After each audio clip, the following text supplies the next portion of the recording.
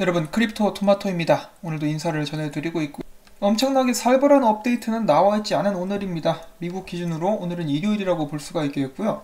그렇지만은 여러분들께 마찬가지로 도움이 될 만한 소식들 어제와 그제에 이어서 XRP를 실생활에서 활용하는 사람의 이야기를 한번 또 들어보도록 하겠습니다. 자, 그 전에 XRP 지금 현재 가격 25센트인데요. 어제보다 조금 상승한 상태에서 거래가 진행이 되고 있습니다. 그 반면에 비트코인은 좀 떨어지고 있고요. 자, 그러면 오늘 모아온 소식들 또 한번 보도록 하겠습니다.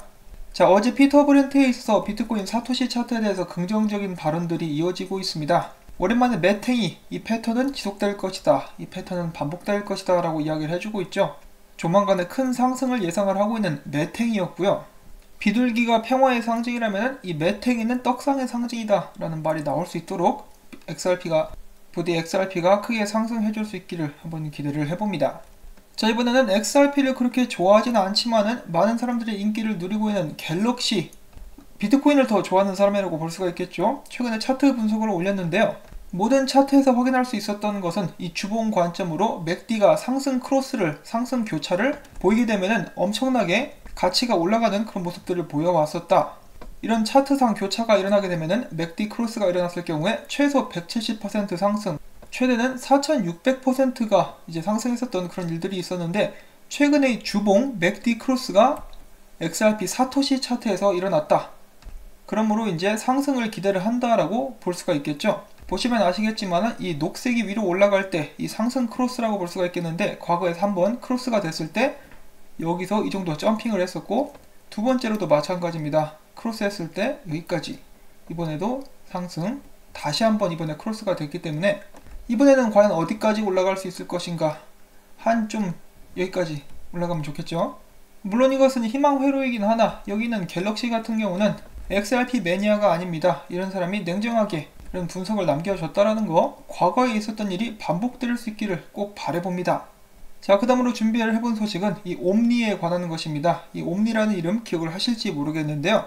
이 캘리포니아에서 사람들로 하여금 물건을 빌려주고 그 대우를 받게 하는 중개 역할을 하고 있는 회사죠. 이 회사는 Xpring 프로젝트로부터 지원을 받은 회사이고요. 약 2,500만 달러, 700만 달러 이 정도로 지원을 받았었습니다.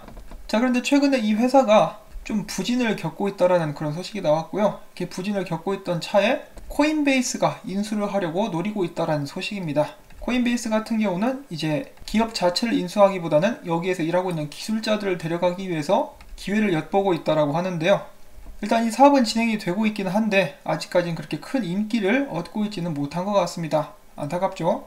자, 그 다음으로 찾아본 소식, 이 캘리포니아 주 정부 같은 경우는 Government Operation Agency라는 것이 있다라고 하는데요. 이곳에서 하는 일은 캘리포니아 주 정부가 진행하는 프로그램이나 효율성을 증대시키기 위해서 노력하는 그런 부서라고 볼 수가 있겠죠.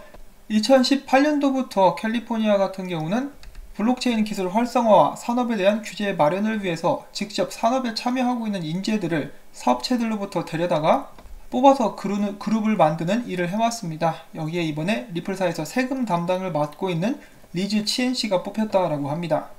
주정부든 정부든 이제 관계를 갖고 일을 하면은 분명 좋은 일이겠죠. 짧은 소식 여러분들께 전달을 해드렸고요. 자, 그 다음에는 1년 전 인터뷰이기는 합니다. 여기는 이 사람, 랜 뉴너죠. CNBC에서 Crypto Trader 프로그램을 이제 맡고 있는 그런 사람입니다. 이 랜 뉴너가 여기는 이 사람, 마이클 에링턴인데요. 테크크런치의 창업자이자 헤지펀드인 에링턴 XRP 캐피탈을 운영하고 있는 사람입니다. 인터뷰를 한번 같이 들어보면 좋을 텐데 뒤에 또 음악이 깔려 있어가지고 그것은 좀 힘들 것 같고요. 그래서 제가 한번 요약을 해봤습니다. 그래서 둘이 인터뷰를 하는데요. 랜 뉴너가 이렇게 물어보죠. 왜 당신은 XRP를 사용하고 있습니까? 그랬더니 이 마이클 에링턴이 강하게 맞받아치기를 야 그러는 너는 저번 주 전까지 XRP와 리플사를 왜 이렇게 싫어했냐? 이렇게 확 물어봐 버립니다. 그랬더니 랜 뉴너가 나는 전에 리플사가 실사용 예를 가지고 있는지를 몰랐다. 그런데 최근 그것에 대해서 그리고 xRapid이 굉장히 활용적이 될 수 있다는 것에 대해서 알게 되었다. 그런 식으로 대답을 하고 그 다음에 마이클 에링턴이 좀 농담을 하면서 랜 뉴너를 띄워준 다음에 이야기를 시작합니다. 내가 왜 XRP를 사용하냐고? XRP는 돈을 움직이는데 정말로 정말로 특화되어 있기 때문이다. 국제 송금을 하는데 엄청난 자금을 운용을 하는데도 속도가 빠르고 비용도 거의 들지 않는다. 기존 암호화폐 시장을 보면은 이렇게 꽉 막힌 tribalism이라고 하는 그런 중심적인 세력적인 문화가 자리 잡고 있는데 비트코인 찬양론자들을 비롯해가지고 그들은 모두 단결해서 XRP를 싫어하는 것 같다. 그들은 XRP가 중앙화되어 있으며 기업이 운용하는 것이라 생각을 한다. 그런데 그러한 것들은 모두 다 잘못된 사실들이다. XRP는 돈을 움직이는 도구로서 엄청난 활용성을 가지고 있다. 지금 이 시각 다른 탈중앙화된 암호화폐들이 사용처를 찾아가는 이 시간에 이미 잘 활용할 수 있는 위치에 와 있는 것이다. 헤지펀드를 운용하는 사람들 중에 한 사람으로서 말을 하건대 XRP를 활용해서 돈으로 옮기는 것은 엄청난 이점을 가져다 준다. 자, 3일 연속으로 이 XRP를 사용하는 사람들이 나와가지고 XRP를 사용하는 것이 왜 중요한지, 어떻게 이득인지에 대해서 계속해서 이야기를 해주고 있죠.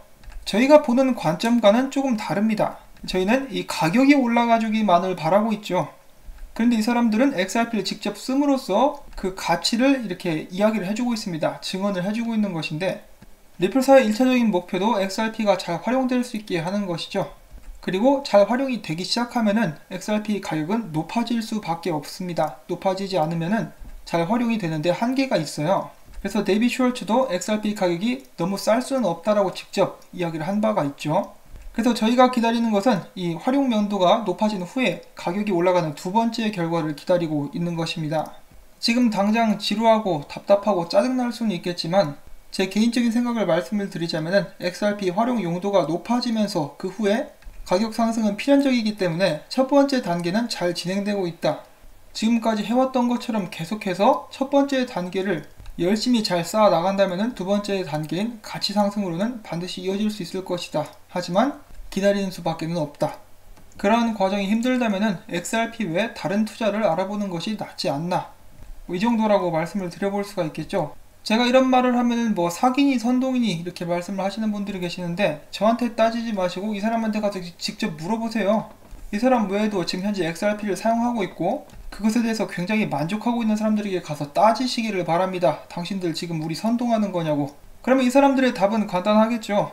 누가 너 보고 사랬냐? 네가 사놓고 왜 나한테 뭐라 그래?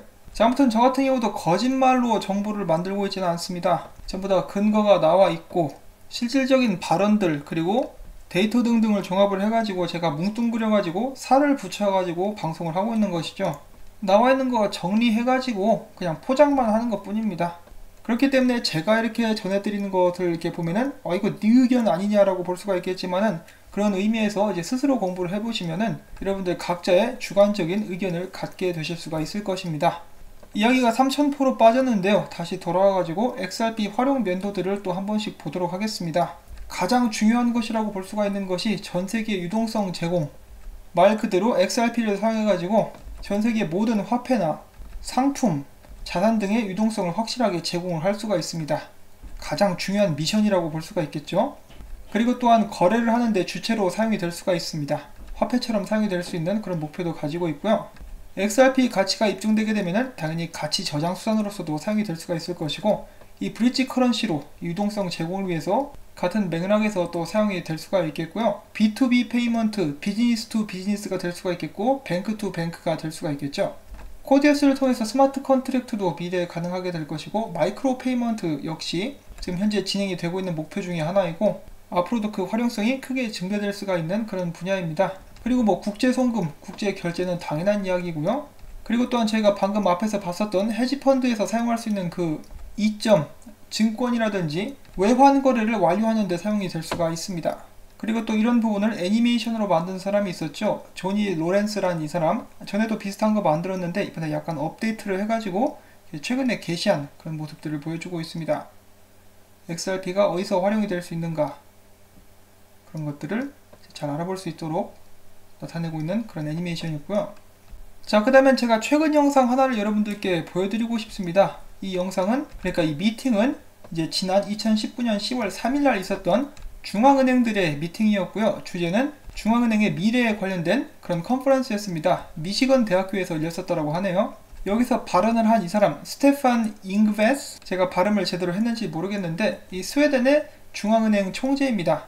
여기서 이 사람이 이런 발언을 하게 되는데요. 여러분 팁스 기억나십니까? 유럽 중앙은행에서 만들어낸 실시간 결제 시스템이죠.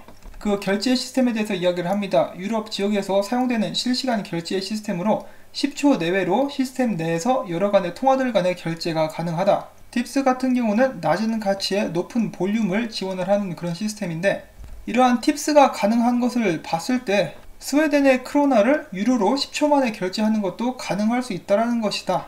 우리는 민간 기업들 중에 이를 도와줄 기업을 찾고 있다. 찾긴 뭘 찾아 이미 찾았으면서 리플사에 대해서 모르면서 이런 발언을 하고 있을 거라고 생각을 하고 있지는 않습니다. 모든 사람들이 같은 반응을 보여주고 있죠. 자 그리고 이 팁스 같은 경우는 저희가 결제라는 표현을 이 사람도 사용을 하긴 했었는데 실질적으로 돈을 움직이는 것이 아니라 지불을 완료한다는 의미에서 settlement를 사용하는 것이라고 저는 생각을 하고 있습니다. 그러니까 xCurrent 수준이라고 볼 수가 있겠죠. 혹은 GPI라든지 그런데 이 단계를 넘을 수 있는 기술을 리플사는 이미 가지고 있고 중앙은행들은 그것에 대해서 이미 알고 있으면서도 아직 민간 기업을 찾고 있다라고 발언을 하고 있습니다. 자, 이처럼 중앙은행은 얼마든지 민간 기업과 함께 사업을 할 준비가 되어 있다는 것도 저희가 볼 수가 있겠고요. 부디 이제 관련된 좋은 소식도 나올 수 있기를 한번 바래봅니다. 자, 그리고 일단 중앙은행들에 대해서 이야기를 하는 김에 한 가지 더 보여드리려고 하는데요. 새로운 소식은 아닙니다. 2017년도에 있었던 일인데요. 이 스튜어트 XRP님께서 얼마 전에 찾은 그런 소식이라고 볼 수가 있겠습니다. 자, 여러분, 제롬 파웰 아시죠? 미국 연준의 의장입니다. 이 연준의 제롬 파웰과 리플사의 라이언 자곤이 독대를 해서 만난 적이 있다. 그것에 대해서 이제 또 찾아가지고 보여주고 있습니다. 지금 보고 계시는 것은 제롬 파웰의 스케줄 표이고요. 여기에 분명히 라이언 자곤, 리플사 포함이 되어 있는 것을 저희가 확인을 해볼 수가 있겠습니다. 연준 의장과 만나서 무슨 이야기를 했을지 저희는 모르겠습니다만 연준도 리플사에 대해서 너무너무나 잘 알고 있다라는 것 정도는 알 수가 있겠죠. 자 그런데 제가 마지막으로 또 높아심에서 드리고 싶은 말씀이 있는데요. 이렇다고 해서 리플사가 100% 성공할 수 있느냐 그것은 아무도 모릅니다. 그러므로 절대로 몰빵하거나 그러진 마시기를 꼭 바랍니다. 추격 매수 같은 것도 하지 마시기를 바라고요. 항상 신중하게 장기적인 투자와 계획을 가지고 진행을 하실 수 있기를 바랍니다. 물론 투자에 대한 조언은 아니고요. 저는 그렇게 하고 있다라고 말씀을 드리고 싶었습니다. 저는 여러분들께서 나중에 꼭 성공적인 투자 하실 수 있기를 정말 바라고 있습니다. 그 날까지 힘내셔가지고요. 더욱더 밝은 미래 저희가 함께 맞을 수 있기를 바래봅니다. 제가 오늘 열심히 준비한 이 정보들이 여러분들께 도움이 되셨다면 구독과 좋아요 그리고 제가 이 채널을 유지하기 위해서 여러분들의 도움이 필요한데 광고 시청 처음부터 광고가 마무리될 때까지 꼭 부탁을 드립니다. 이 광고 재생이라는 표현을 쓰도록 하겠습니다. 바쁘신 분들을 위해서 광고가 끝까지 나오도록만 해주셔도 제 채널에는 정말 큰 도움이 됩니다. 다시 한번 감사의 말씀 전해드리면서 저는 다음에 또 인사드리도록 하겠습니다. 안녕히 계십시오.